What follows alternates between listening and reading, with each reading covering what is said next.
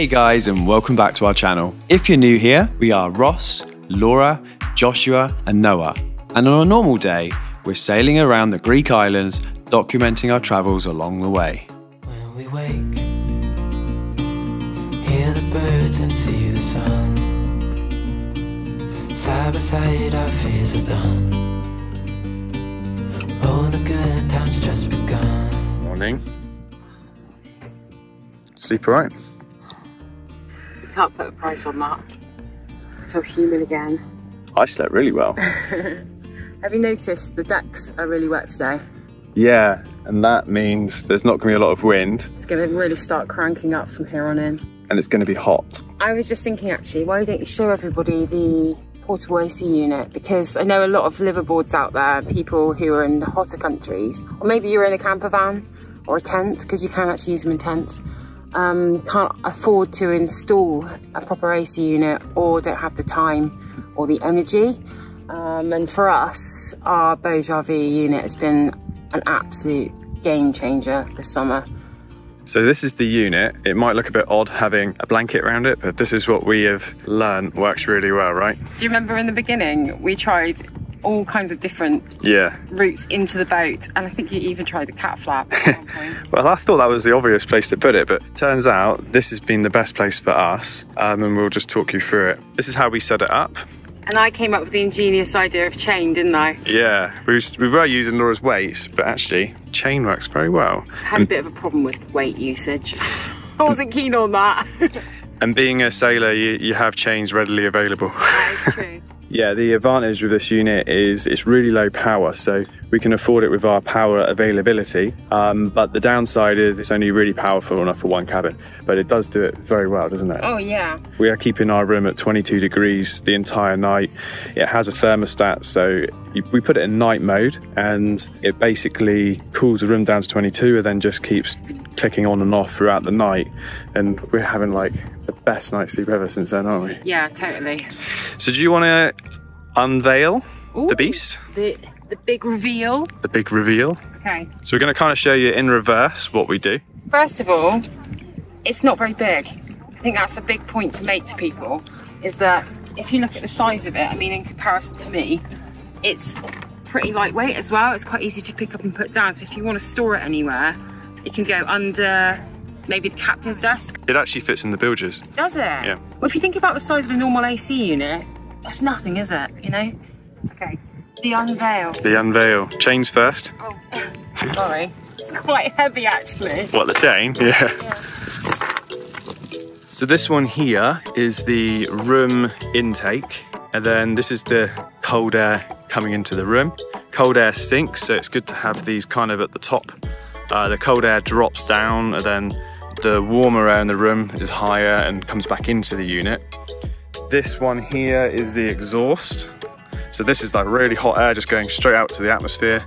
And then it also has another intake as well, because it is a heat exchange. So you've got kind of two ways of air passing each other through an exchanger. First of all, you want to plug it in.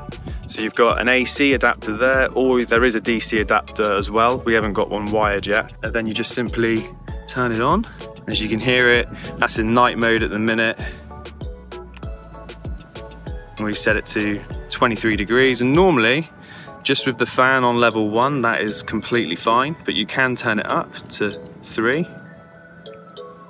It doesn't normally flash like this, this is just the camera. I get the same thing with house lights and shop lights. But it, for me, that's not flashing, just by the way. and then it has other modes. We like night mode usually because we're using overnight, but you also have, just as a fan, aircon mode, and then this rocket here is booster mode. So this is like running at full power basically. The um, power just connects here. Basically it's like a little screw thing, but it's nice and secure, just plugs in, screw it up tight. That's not going anywhere. It's the same with the DC one. It runs on up to 360 watts. So that's like kind of a max of 30 amps if you're 12 on a 12 volt system. On average, it's drawing more like 200, I'd say. So uh, it kind of averages out. Once the room cools down, it all kind of calms down. It's also super quiet, isn't it? Yeah, really quiet. So if you're interested in your own BougeRV portable AC unit, then click the link in the description box below. That'll take you straight to their website. And through our link, you will get quite a hefty discount as well. But for now, I think it's time to get into the episode. This time, we're traveling from Elafonisi to Methoni, where there may or may not be more of these. It's four o'clock. Just about to get ready to go. I've got company today. You okay there, Noah? The star's good? That's for Mars Ah, or Venus. I'll look for it in a minute. Close your eyes, hear the voice within calling. This heavy load got under your skin, howling. You got the white knuckles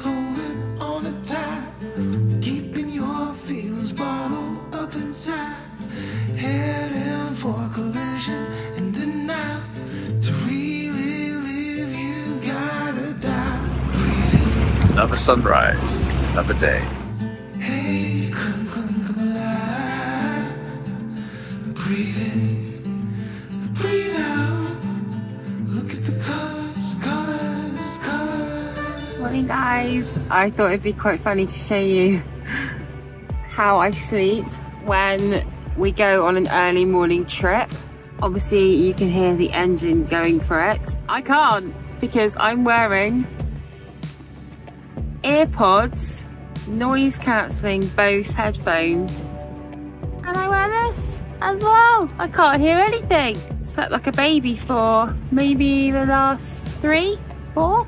Somebody commented recently to say that when they struggle with the noise at home, they wear their noise cancelling headphones. Um, and I pretty much live with either earbuds or earplugs in because I am very sound sensitive. And that's just on the daily, let alone trying to sleep. But I have just had the most blissful three hours, even though the boat is jumping up and down like a frog and the engine's on. Whoever that was that commented, thank you.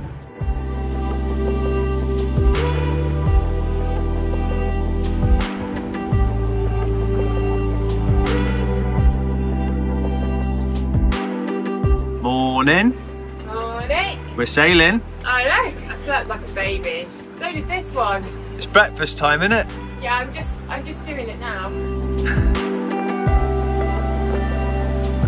Since it appears I've been summoned to do breakfast, I thought I would show you what I do on a crossing, which is a very quick, simple and easy meal. Basically, it's a burrito. I get a wrap, spread some tomato puree on it, stick some cheese in there, few herbs, chop up some bacon and cook that beforehand, wrap it all up, stick it on the frying pan, and usually you probably use a saucepan lid, but this is my saucepan lid. Really simple, and the good thing is, these ingredients are really, really easily provisioned, like wraps, they store for ages, tomato puree the same. You need to make sure you've got some cheese in store, but you could always use oven roasted veggies as well. It's cooking up a treat, and I'm about to serve it to Joshy now. Joshy! The burritos are on me! Yes!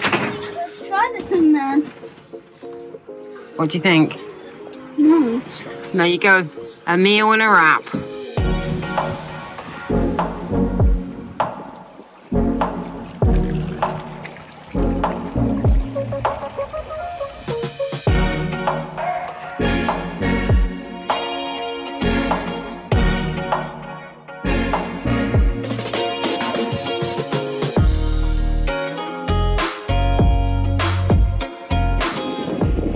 Sitting ducks. These guys are all just parked. They're not anchored because it's too deep. I think it's about a thousand meters deep over there.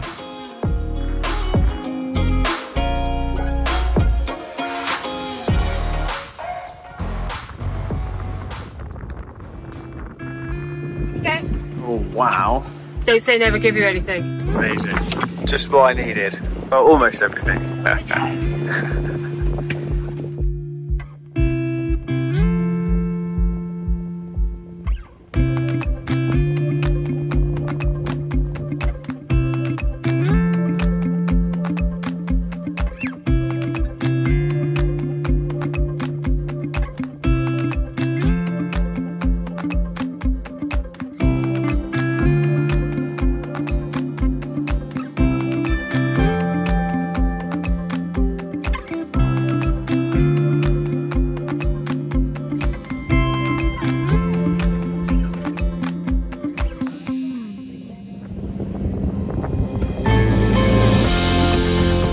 Josh, we have just hit the most southern point of mainland Greece. Cool. Are we staying here?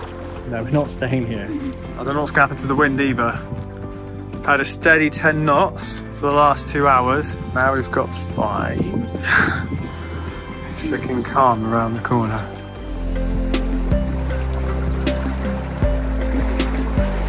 I love it when we're sailing faster than the engine.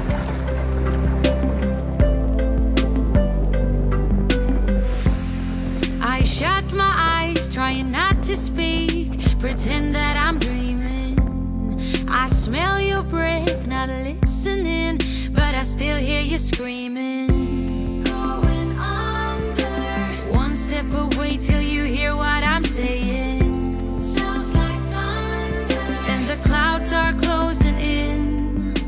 I'm just doing some yoga. Captain's left me in charge. He's really tired, so he's gone to have a little nap. Disclaimer, if we have a head with a tanker, you know who to blame. Well, let's see. It's okay to scream your head off. Oh, is it?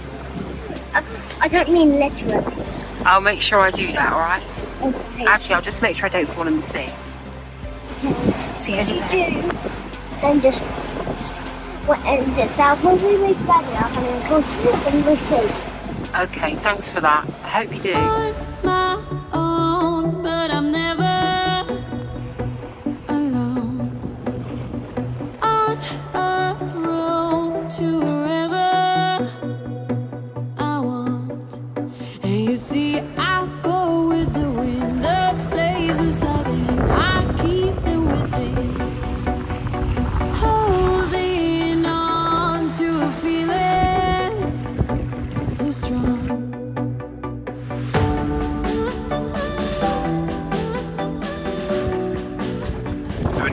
Methoni, just another two and a half hours to go. A nice bit of wind though, as you can see.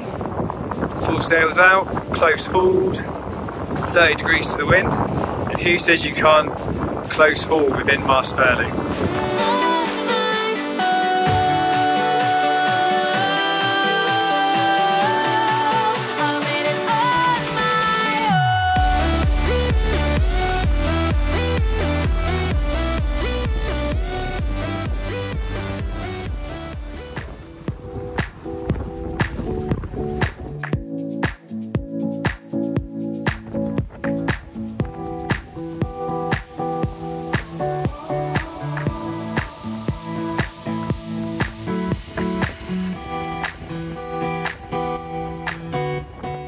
Out, guys.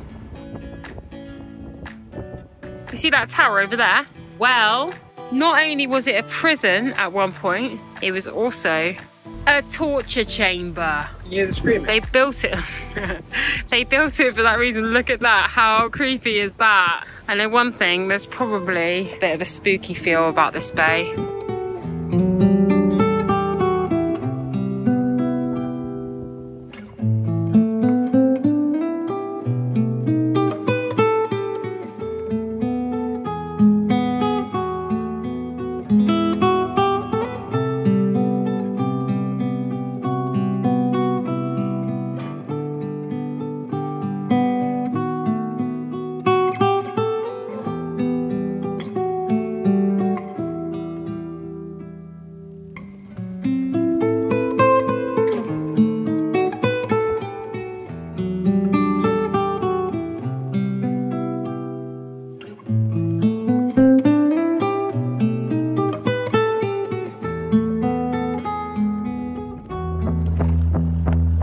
Everyone ready?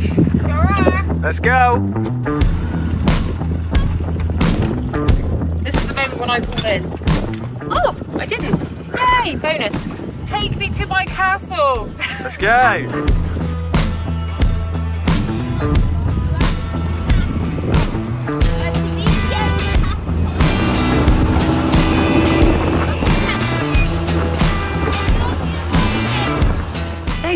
are you excited about today? Yeah. We've been learning all about this place that we're visiting, haven't we, in homeschool? Yeah. We know definitely doing a sword fight. Can you tell me, Joshua, where we're going. We're going to Mafoni Castle. When was Methoni Castle built? 1709 by the Venetians. Joshua, can you tell me in 1500 who took over the castle? The Ottomans. Nope, it was a sultan from Turkey. Only one? Yeah, and his Turkish army. Oh! Next question. Who reclaimed the castle back in 1785? The Venetians! Well done. Second to last question. Who seized the castle in 1715? The Ottomans. 10 points, Josh. And the very last question is put your hand up if you know the three reasons why they built the Bourtzi that is at the end of the castle. One for the torture chamber. And number two, to make it even stronger. Number three? A prison. There you go then. We parked up at this little pier here, but the entrance to the castle is right about down there. So we're going to walk along this lovely little path. There is a moat which didn't actually get completed by the Venetians because the Turks came along and overthrew them. But it's really cool and you have to get over a bridge to get into the castle because this whole headland area is completely cut off from the mainland. And that is where unspeakable things happened to prisoners. I am dreading going in there. Got your sword? Ready to fight some battles? Oh, thank you. Make a wish. Hmm, guys, what shall I wish for?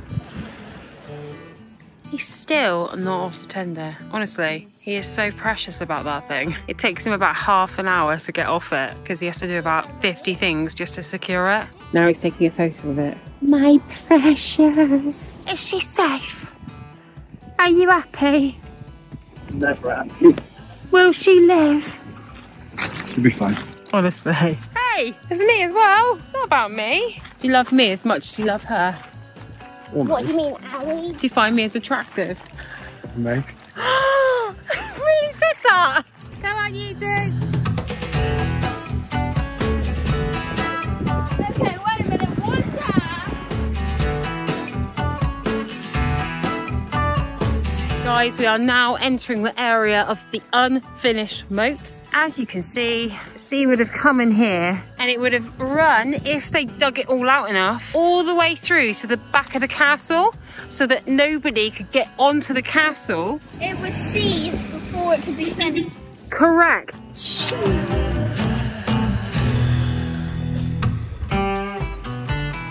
Ah, that's the flying lion of St. Mark, which is the symbol of the Venetian state. Beautiful, isn't it? And this is obviously the unfinished moat. It's beautiful and it runs all the way along from east to west. So over the other side, before we get in the castle, there's an amazing vantage point that you can go to where you can see all of the north, south, east, west coast. I still have to do that. Never eat shredded wheat. Laura, must be low tide. It wasn't completed. I just remembered something. Tomorrow we're going to the Ionian, and tonight I'm staying up with you, Daddy. No, we're getting up early in the morning. I'm going to get you up about four for star watching. Yeah? Noah, I just dropped the kill cord in there. Can you just get it for me? I, I wasn't born yet. Don't hit it. Don't hit it. I'm only joking. Noah would actually do it. That must be a tool for the mine. actually don't know what this is. Does anybody out there, any of our viewers, know what this is? They've either been here before and they found out, or they've seen one before and they know. This was like a little tool. Dagger. Ah, boys, you're not allowed in. It says pets not allowed. Yeah, we just got you to play with. I've got a dagger and a pipe sword. And Okay. sparing Noah, that's until we get into the castle. When we get in the castle, we're gonna fight, we're gonna battle to the death.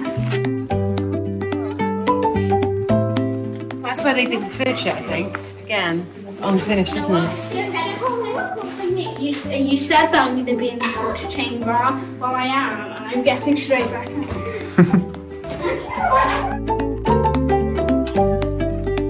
Well, well, well. No water. It's because the tide's out.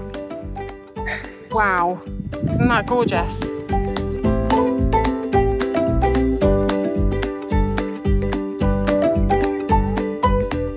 Ah, there's water in this one. Tide's coming in.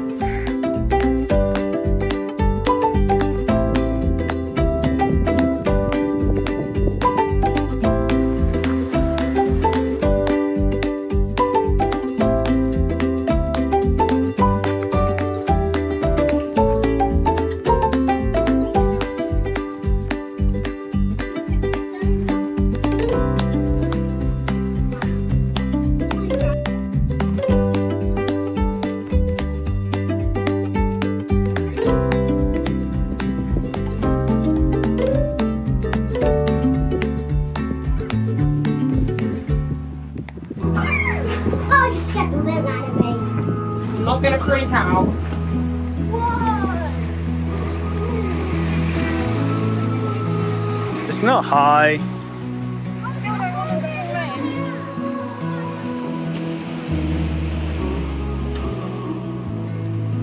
Even the draggy rocks outside of the Bourtzi have like a really creepy feel about them, don't they?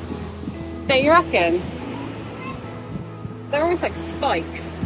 Sharp, aren't they? I'm not really excited about going in here. You ready there, boys? I'm ready. Look out for the ghosts. No, I'm not going The tormented souls. Nice, stop it. I've seen things scarier, Daddy. No, no, no. It's not for me. I am not going in there. So what did they used to do in the torture chambers? Don't, don't, don't Torture people horribly. Really? Like what? Oh, Come, let's walk up. no, no. Josh, don't say it. We can't. It's just oh, horrible.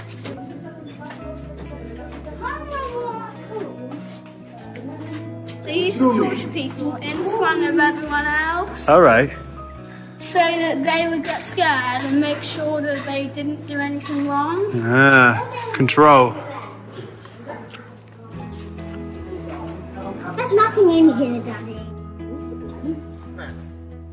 I'm here. Oh, I thought you were there. Is there a lock there? Padlock? Yeah. I think that's for luck. Come on then, let's go. Whoa, I did not. I did. I did. You did it.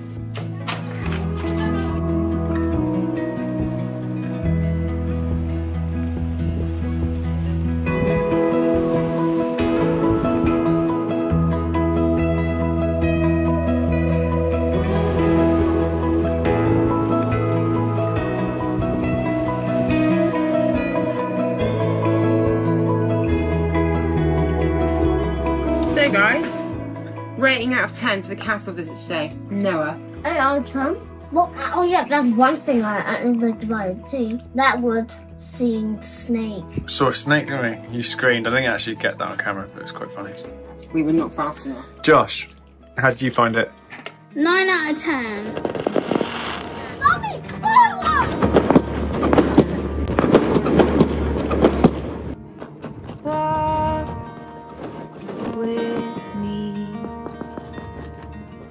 Let's leave the past behind. Walk with me. There's something else we need to find.